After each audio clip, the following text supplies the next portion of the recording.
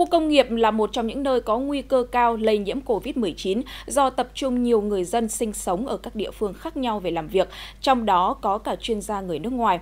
Chính vì thế, việc kiểm soát phòng dịch là vô cùng quan trọng. Phần lớn các doanh nghiệp đều có những biện pháp phòng dịch chặt chẽ khi trở lại hoạt động sau Tết.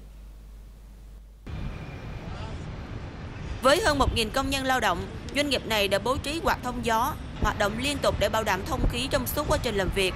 Giờ ăn ca được sắp xếp lại theo tổ để nhà ăn không bị đông người như trước. Mỗi bàn ăn chỉ có hai người. Khi đến làm việc thì à, đeo khẩu trang, trước khi qua cổng thì đã được bảo vệ đo thân nhiệt. Khi vào xưởng thì được rửa tay sát khuẩn.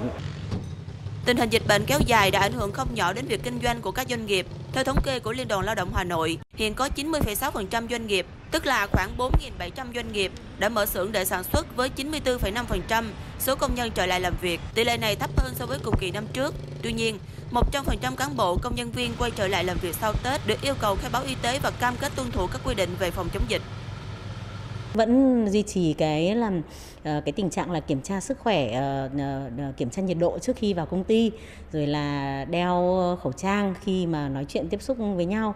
Thì à, theo công ty là giãn cách theo ca có nghĩa là ca 1 thì sẽ làm à, thứ hai à, và ca 2 thì sẽ làm thứ ba. Thì cứ giãn cách như thế thì là hôm sau thì lại nghỉ. Vừa chống dịch nhưng mà cũng vừa phát triển sản xuất và quan điểm của công đoàn là công đoàn đồng hành cùng với người lao động vượt qua khó khăn của đại dịch Covid-19. Việc chống dịch nghiêm túc song song với sản xuất đã giúp cho các doanh nghiệp vượt khó. Đây cũng là một trong những yếu tố giúp Việt Nam trở thành một trong những nước hiếm hoi có mức tăng trưởng kinh tế dương năm 2020 trong bối cảnh đại dịch Covid-19.